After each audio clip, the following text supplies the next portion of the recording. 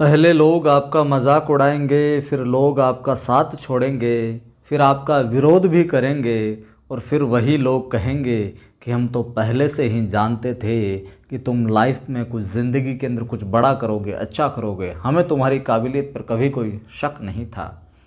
यही दस्तूर है साहब लोगों का। नमस्कार, जय हिंद।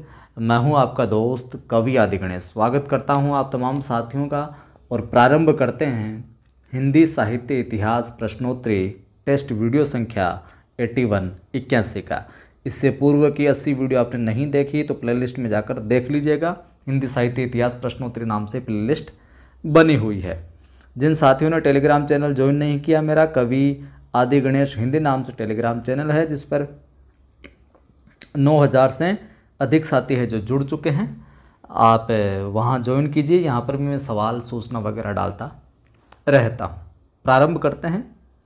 देखिए साथियों हर कोई है जो हर किसी को प्रसन्न नहीं कर सकता, खुश नहीं कर सकता। मेरा प्रयास रहता है आपको अच्छे से अच्छा कंटेंट देने का और बिल्कुल वाजिब समय के अंदर देने का। ये नहीं कि पाँच सवाल को मैं पच्चीस तीस मिनट तक आपको घुमाता रहूँ, ये बताओ और वो बताओ। ठीक है, प्रयास रहता है जितने समय में डिलीवर होना चाहिए कंटेंट उतने समय में देने का। अब आपको पसंद आता है तो आप लाइक किया कीजिए और दोस्तों को जोड़ा कीजिए और सब्सक्राइब करके रख ले चैनल को, घंटे पर क्लिक करके ताकि सूचना मिलती रहे। सबकी अपनी अपनी मति है अपनी अपनी सोच है। बस प्रयास करते रहो आप कुछ अच्छा करने का। दुनिया क्या कहती है? कहने दो। पहला सवाल है कि सबका निचोड़ लेकर तुम सुख से सूखे जीवन में बरसों प्रभात हिमकन सा आँसू इस विश्व सदन में। ये पंक्तियाँ निम्न में से किसकी है? महादेवी वर्मा की, सुमित्रा नंदन पंत की, सूर्यकांत त्रिपाठी निराला की या फिर जयशंकर प्रसाद की, बताइए। पंत वर्मा, निराला या फिर जय शंकर प्रसाद। तो यहाँ पर अपना उत्तर हो जाएगा महोदय। उत्तर हो जाएगा जयशंकर प्रसाद। क्या हो जाएगा? जयशंकर प्रसाद। निराला की पंक्तियाँ मिलती है, प्रसिद्ध कई बार पूछी गई। हालाँकि बहुत सारी निराला की, एक आती है कि धन्य मैं पिता निरर्थकता कुछ भी तेरे हित न कर सका। निराला के जीवन में बहुत उतार चढ़ाव है जो रहा था। पंत की प्रसिद्ध पंक्तियाँ, पंत की ये पंक्तियाँ कई बार पूछी जाती है, क्या छोड़ द्रुमों की मृदु छाया? पहली लिख देता हूँ मैं, छोड़ द्रुमों की, इतना ध्यान में रखना, मृदु छाया। छोड़ द्रुमों की मृदु छाया तोड़ प्रकृति से भी माया। बाल तेरे बाल जाल में कैसे उलझा दूँ लोचन? ठीक है? अगला सवाल। हिंदी काव्य में जो छायावाद का युग है, हिंदी काव्य में, ध्यान से समझिएगा सवाल को यहाँ पर रिक्त स्थान है। हिंदी काव्य में जो छायावाद युग है, वही हिंदी उपन्यास और कहानियों के संदर्भ में, क्या कहलाएगा साहब? गांधी युग, भारतेंदु युग, प्रेमचंद युग या फिर जयशंकर प्रसाद? युग। उत्तर हो जाएगा, क्या? प्रेमचंद युग। तो हिंदी काव्य में जो छायावाद युग है, हिंदी काव्य में देखें तो जो छायावाद युग है, लेकिन हिंदी उपन्यास और कहानियों के संदर्भ में हम देखें तो वो हो जाएगा, क्या? प्रेमचंद युग।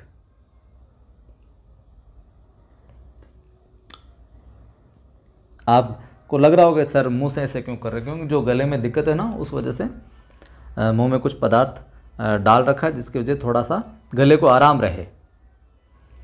सवाल है अगला कि कामायनी के, चलो ऊपर वाला मैं थोड़ा सा आपको बताता हूँ, इसकी और व्याख्या। तो इसमें प्रेमचंद युग हो जाएगा, और छायावाद का समय आपको पता है, क्या मिलता है? छायावाद का समय क्या मिलता है? 1900 अपने 18 से लेकर 1936 के दौरान। और मुकुटधर जो पांडे हैं, कौन? ये मैंने कल भी बताया था, मुकुटधर। माफ़ करें, मुकुटधर जो पांडे साहब हैं इनको लिखित रूप से छायावाद शब्द का क्या प्रथम प्रयोगता की सबसे पहले छायावाद का शब्द का प्रयोग, इन्होंने क्या प्रथम प्रयोगता स्वीकार है जो किया जाता है?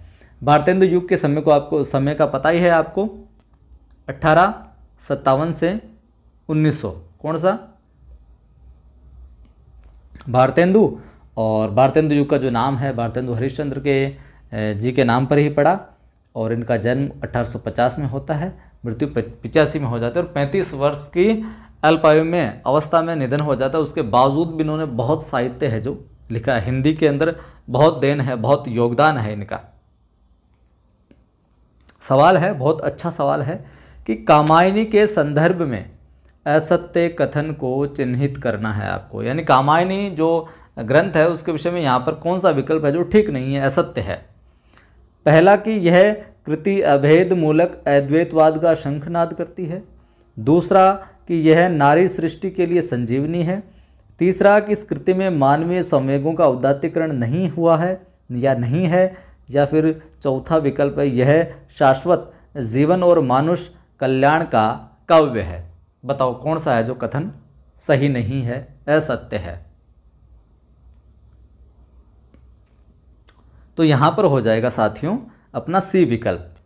ये इस कृति में मानवीय संवेगों का उदात्तीकरण नहीं हुआ है, ये बात इन्होंने ठीक नहीं लिखी है। यानी कि इस विकल्प में ये सही नहीं है, असत्य है। कामायनी के विषय में बाकी जबकि तीनों है जो कथन सही है। चलिए अगला सवाल देख लेते हैं फिर। कि प्रसाद की गीत कला का, गीतात्मक रचनाएँ करी, लेकिन प्रसाद की जो गीत कला है, इसका उत्कृष्ट जो रूप है, उनके किस संकलन में है जो दिखाई देता है? और भी रचना किस संकलन में बहुत उत्कृष्ट रूप, बिल्कुल पराकाष्ठा पर जो बहुत बेहतरीन की इस संकलन में बहुत बेहतरीन गीत कला दृष्टिगोचर होती है, प्रसाद की, वो कौन सा संकलन है? झरना है तरंग है, आँसू है या फिर लहर है? बताइए कमेंट करके, क्या हो जाएगा इसमें? तो इसमें हो जाएगा साथियों अपना क्या? लहर। प्रसाद की गीत कला का उत्कृष्ट रूप उनके किस संकलन में दिखाई देता है? लहर के अंदर दिखाई देता है, यानी कि यहाँ पर चतुर्थ जो विकल्प है, वो सही होगा। बाकी इसके अतिरिक्त हम देखें प्रसाद की और रचनाएँ। तो और रचनाएँ वन मिलन। प्रसाद की और रचनाओं की मैं बात करूँ। वन मिलन एक रचना आती है, जिसके बारे में कई बार परीक्षा में सवाल आता है। इसके अतिरिक्त, एक जो इनका चंपू काव्य भी है, उर्वशी। उर्वशी के विषय में पूछ ले, किस प्रकार का काव्य तो ये है, क्या है? चंपू काव्य। और चंपू काव्य के विषय में सब जानते हैं कि चंपू काव्य किसे कहते हैं। प्रेम राज्य भी मिलती है इनका एक कृति। और प्रेम पथिक भी मिलती है। प्रेम पथिक, कानन कुसुम। ठीक है ये, और अयोध्या का उद्धार, इस प्रकार की रचनाएँ मिलती है और सारी महत्वपूर्ण इनकी तो। अगला सवाल है कि कामायनी को छायावाद का उपनिषद किसने कहा? मैंने दो तीन रोज पूर्व एक सीरीज़ जो टेस्ट वीडियो डाला था, उसके अंदर डिस्क्रिप्शन में किसी सवाल की व्याख्या के अंदर मैंने ये चीज़ है जो आपको बताई थी। जो व्याख्या में जो भी मैं आपको बताता हूँ, वो भी कहीं ना कहीं है जो सवाल है जो पूछे गए हैं। तो इन सवालों को बड़ा गंभीर रूप से आप लेकर है जो तैयार किया कीजिए। कामायनी को छायावाद का उपनिषद किसे कहा है? किसने कहा है? डॉक्टर नगेंद्र ने, गजानन माधव मुक्तिबोध ने, इंद्रनाथ मदान ने या फिर शांति प्रिय द्विवेदी ने? बताइए जी। उत्तर हो जाएगा शांति प्रिय द्विवेदी महोदय ने कहा कि कामायन क्या है? छायावाद का उपनिषद है। चलिए मान लेते हैं इनकी बात। सवाल है, नारी, तुम केवल श्रद्धा हो ये पंक्ति कई बार पूछी गई और बहुत महत्वपूर्ण और आपको पता भी होगा। नारी, तुम केवल श्रद्धा हो, किस रचना में है? किस रचना में बताओ, देखें। कामायनी, चंद्रगुप्त साकेत और भारत भारती साहित्य इतिहास की दृष्टि से तो महत्वपूर्ण है ये सवाल, और सेकंड ग्रेड वालों के लिए तो बिल्कुल आसान भी होना चाहिए ये सवाल। तो यहाँ पर उत्तर हो जाएगा अपना ए किसकी है? कामायनी। प्रकाशन वर्ष। कामायनी का तो 1935 देखने को मिलता है। सर्ग पूछ ली माफ़ करें। सर्ग पूछ ले तो पंद्रह सर्ग मिलते हैं। और मुख्य छंद पूछ ले इसका। तो छंद इसमें क्या? ये सारी विशेषता मैं बता दे रहा हूँ यहाँ पर। तांटक छंद है जो देखने को मिलता है इसमें। और इसके, इसका जो अंगिरस है, अंगिरस की बात आए इसकी। तो वो क्या है? अंगिरस की बात आए तो यहाँ पर शांत या फिर निर्वेद भी आ सकता है। शांत या निर्वेद रस इसका अंगिरस है, ये सारी बातें बाकी चंद्रगुप्त हो गया, ये जयशंकर प्रसाद का नाटक है। चंद्रगुप्त क्या? ये जो यहाँ पर विकल्प में आया, ये जयशंकर प्रसाद का नाटक है। समय इसका देखने को मिलता है हमें उन्नीस सौ इकतीस के तकरीबन। साकेत 1931 भारत भारती ये सब है जो मैथिली शरण गुप्त द्वारा रचित काव्य है। चलिए, अगला सवाल। कि धिक जीवन जो पाता ही आया है विरोध। इस सवाल को बहुत अच्छे से देखिएगा अच्छे से सुनिएगा, समझिएगा। धिक जीवन जो पाता ही आया है विरोध, पंक्ति में किसके जीवन सत्य की अभिव्यक्ति मिलती है? किसके जीवन सत्य की अभिव्यक्ति मिलती है? निराला, हनुमान, लक्ष्मण जी, विभीषण। बताओ देखे तो यहाँ पर उत्तर क्या हो जाएगा? सूर्यकांत त्रिपाठी, निराला का जो जीवन सत्य है, उसके अभिव्यक्ति देखने को मिलते। इनको विरोध ही विरोध है जो झेलना पड़ा था। ठीक, और ये जो पंक्तियाँ हैं, कहाँ से ली गई है? राम की शक्ति पूजा में जो राम की हताशा थी, निराशा थी, उसमें कवि जो था मतलब निराला जो अपने जीवन की निराशा की अभिव्यक्ति यहाँ जो प्रकट होती है, और वो से भी सिमिलर होती है, लेकिन यहाँ पर सूर्यकांत त्रिपाठी निराला जीवन सत्य की अभिव्यक्ति देखने को मिलती है। इस प्रकार तो इस सवाल को ज़रूर आप ध्यान में रखिएगा साहब। सवाल है अगला, कि निराला के अनुसार हिंदी में मुक्तक काव्य किस छंद की, माफ़ करें, यहाँ पर बुनियाद है केवल, किस छंद की बुनियाद पर सफल हो सकता है? कि हिंदी मुक, हिंदी में जो मुक्तक काव्य वो किस छंद की बुनियाद पर सफल होगा? तो रोला, चौपाई, दोहा या फिर कवित? निराला के अकॉर्डिंग कौन सा वो छंद है जिसकी बुनियाद पर है जो हिंदी में मुक्तक काव्य सफल हो सकता है? तो यहाँ पर हो जाएगा वो कवित। क्या बताते हैं ये? कवित। और कवित को निराला ने हिंदी का जातीय छंद भी कहा है। क्या कहा है? जातीय छंद भी। तो ये थे आज की वीडियो में कुछ महत्वपूर्ण सवाल।